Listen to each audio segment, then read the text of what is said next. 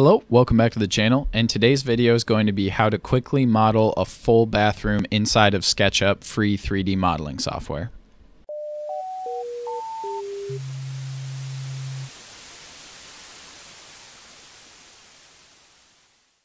Okay, so I've done a few videos in the past on SketchUp and how to do really basic things like create your first model, model out an accurate wall, um, but we haven't really started doing full rooms yet and talking about how to place objects within rooms and make sure you've got accurate readings and everything.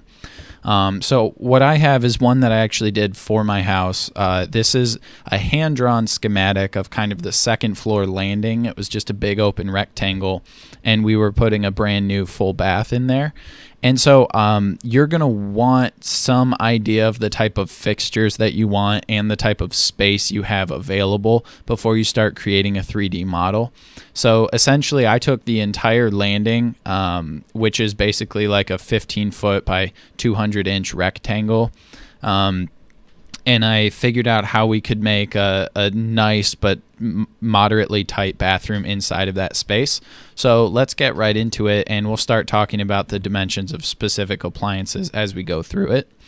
Um, but as I think I've said in every video, when you start a 3D model, try to understand the outside space that it's fitting in so that your model can be built within those constraints.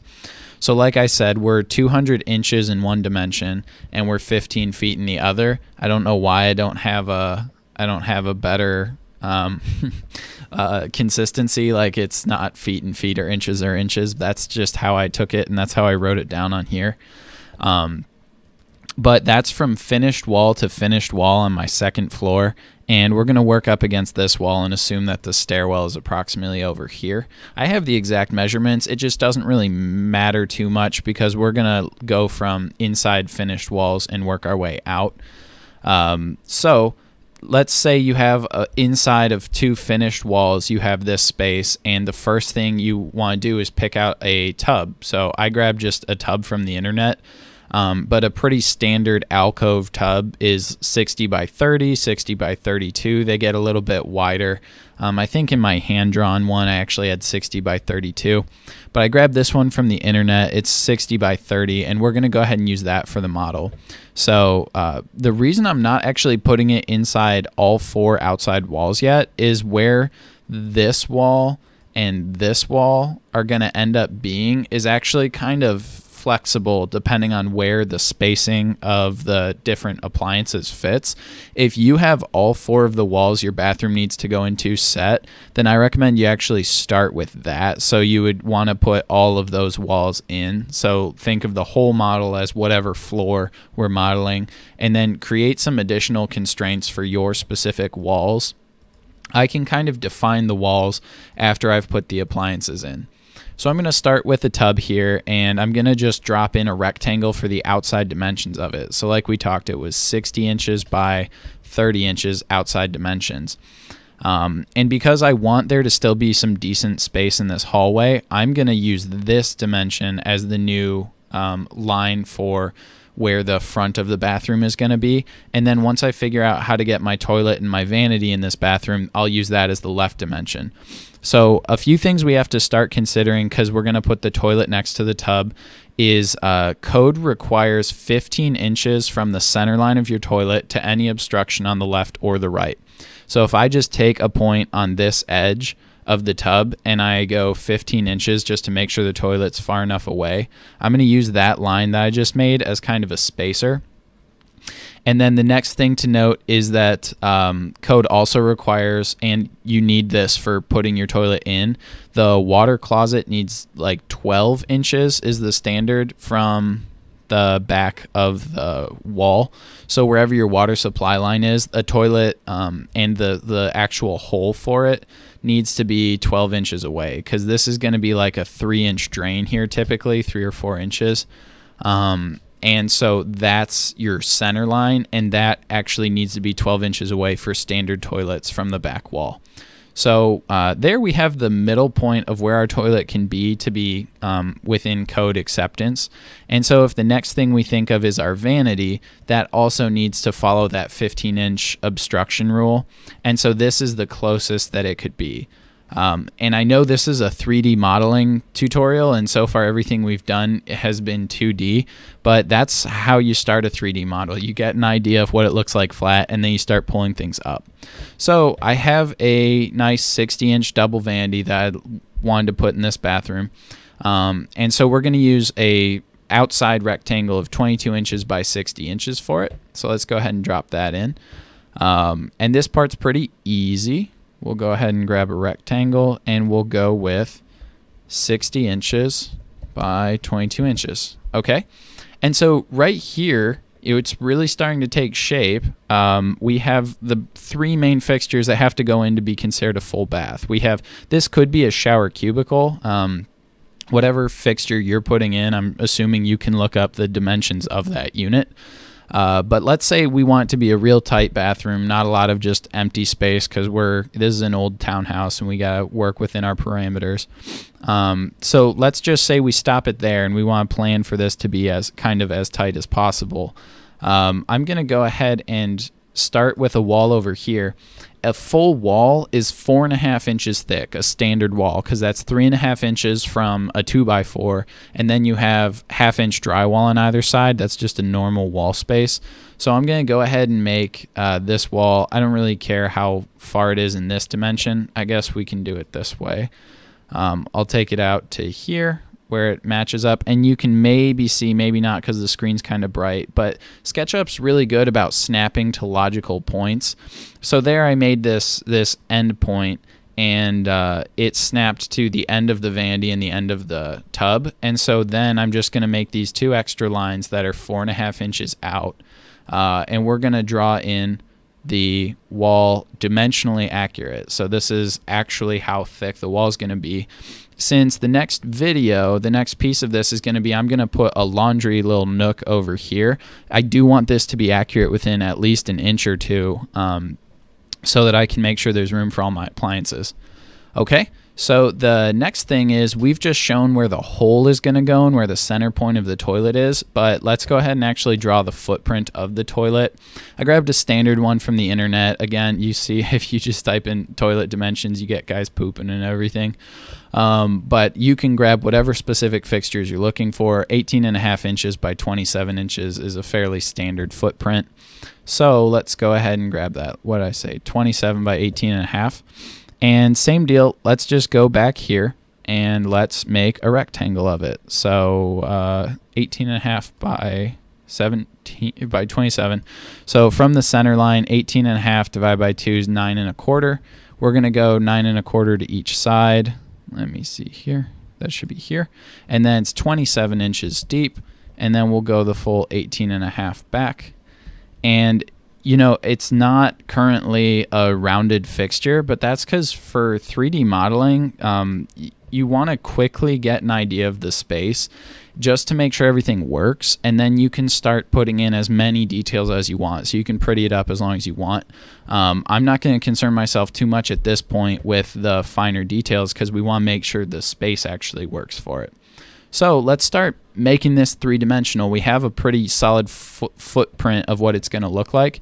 Let's go ahead and look at our toilet. It comes up about 30 inches, and you can see I'm just going to estimate like it's 60%, uh, three-fourths of it is only going to come up about half that height. So let's grab this toilet. Let's say the first half, it all comes up 15 inches and let's just throw a line across here at what is this 27 inches long? Let's um let's say the back seven inches is all just water closet. Okay? And I'm gonna make a new line there and I'm gonna bring that the other 15 inches up. And so what you'll see right away this isn't rounded. We haven't put a seat on it or anything but that is clearly a toilet or a chair of some kind and that's good enough for getting a rough estimate in and we'll start putting the finer details in after.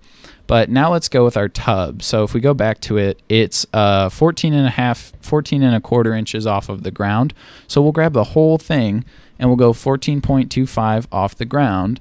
And let's look at our vanity and it's 35 and a half inches high. So we'll come back here grab our whole vanity and we'll go 35.5 off the ground.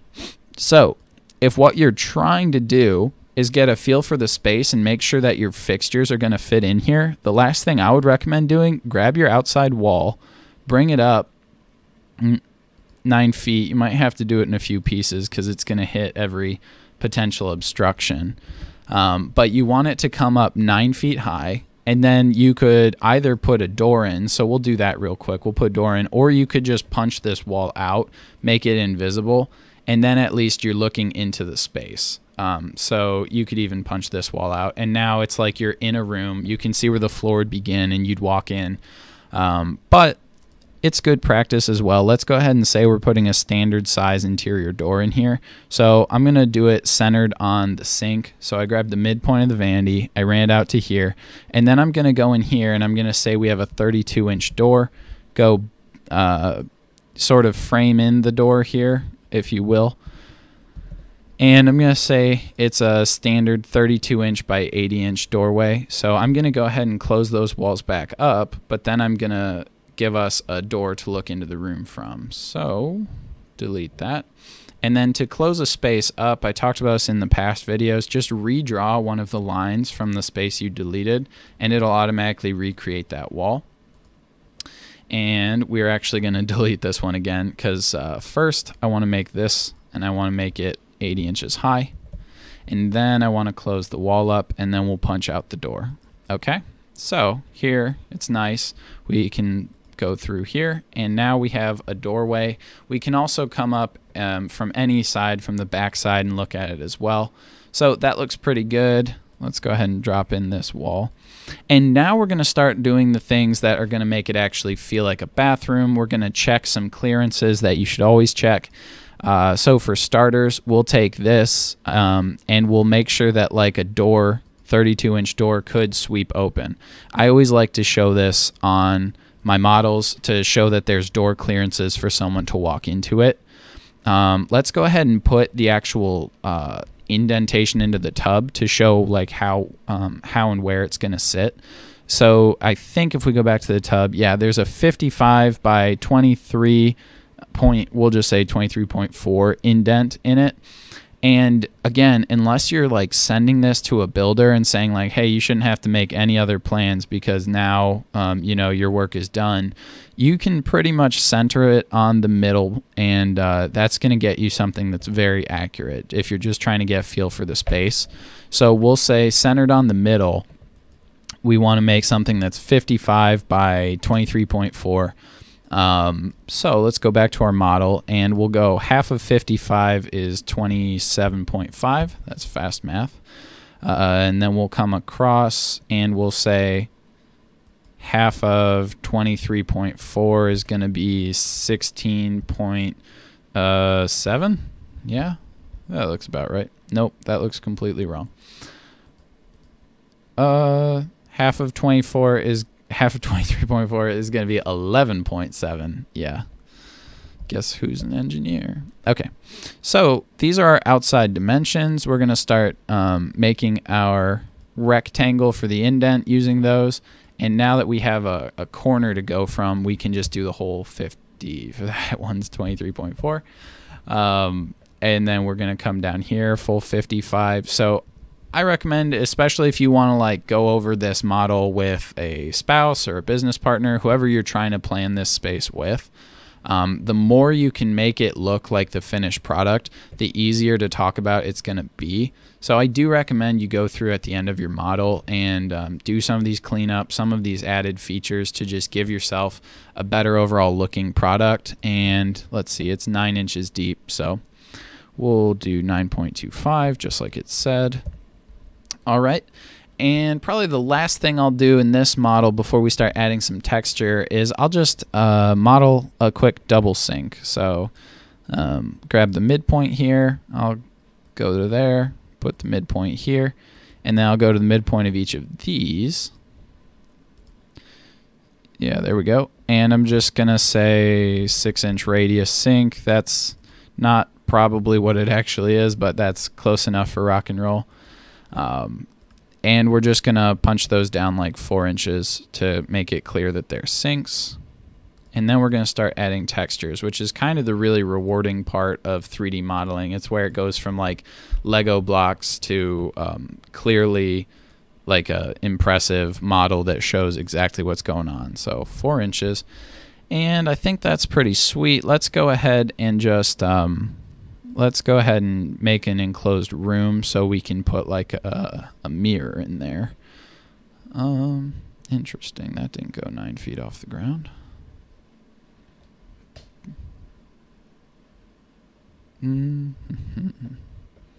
So we want it to be nine feet. Maybe it did, and I could have raised the other walls too high, but okay. All right, so I am going to get rid of the walls around the door for adding texture because I'd like greater visibility into this space. Um, let's go ahead and say, I'm not going to spend too much time worrying about the finer details of it, but let's say we put a big old round mirror on here. That'll look pretty sweet. And let's start making it look a little bit prettier a little bit more like something where you're actually visualizing the space. Let's say you've picked, so colors, uh, if you go to the right and you look at the little, it's like checkerboard, the tab is called materials. If you have a general idea what kind of color you want to paint the bathroom, um, you can just grab it in here. Let's say you go with a lavender. That's pretty bad. Actually, that looks terrible. Um, unless you're planning on painting your bathroom that color, in which case I like it a lot. Um, so you can grab that color, you can put it on the walls. Uh, there's a whole section for glass and mirror, so you can actually put like a mirror type texture um, on your mirror. And it doesn't, I mean, there are a lot of aftermarket like add-ins you can do for SketchUp that look a lot more realistic. The stuff they give you for free is just the stuff to get you started, but still, it looks good enough to get you going. Um, and then they even have some tile sections. So it'd be very common to put tile in the uh, floor of your bathroom. You can go ahead and model that as well. And I think that looks pretty sharp. Um, say you had a different kind of tile in mind for your countertop, you can do that. They have a lot of options. So, uh, of course, cabinets probably are going to be wood, so you could put a, a finish of wood on your cabinet. Um, that looks okay. This kind of looks like a nightmare 1970s bathroom, but um, in general, you can see like the finishings. You can play around with these, take a look at everything they have. If you have a window, you just punch another hole through, like we did with the door. You could put things like cabinet doors, door handles. You could round all these edges. It's totally up to you from here. Um, I recommend you would save your model at this point um, or even save off a copy so you can start playing around with the details, but you've got this shell, this essence of the basics to work with. Um, and in general, this is how anyone, like, you don't need any formal training, you don't need any license, you don't need any special background or anything like that.